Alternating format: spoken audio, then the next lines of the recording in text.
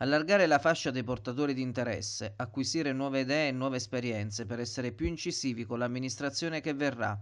E questo è l'obiettivo dell'incontro serale promosso dall'associazione Sulmona Facentro che chiama a raccolta commercianti, residenti e chiunque voglia investire sul centro storico di Sulmona. Tutto in una notte per raccogliere proposte e discutere sul da farsi con l'unico obiettivo di darsi una mossa perché i tempi che corrono non sono certo facili.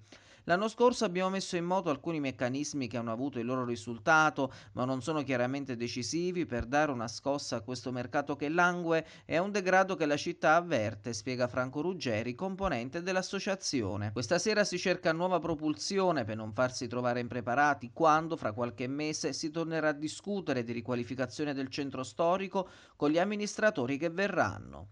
Quello che vogliamo ottenere stasera è allargare la nostra fascia, acquisire nuove esperienze, nuove idee, nuova forza, nuova propulsione per essere ancora più incisivi nel rapporto con l'amministrazione che si andrà a formare. Tocca a Ruggeri specificare che l'associazione non è esclusivamente commerciale, ma raggruppa tutti gli interessi esistenti in centro storico e in tal senso è aperta a tutti. È, un'associazione non squisitamente commerciale, ma è un'associazione che raggruppa tutti gli interessi insistenti nel centro storico, per cui è aperta a chiunque abbia interesse, dalle attività produttive ai professionisti, ai, agli operatori in genere e comunque anche ai proprietari delle case. L'appuntamento è per questa sera alle ore 20.30 nella sede del Sestiere di Porta Bonomini in via Ercole Ciofano.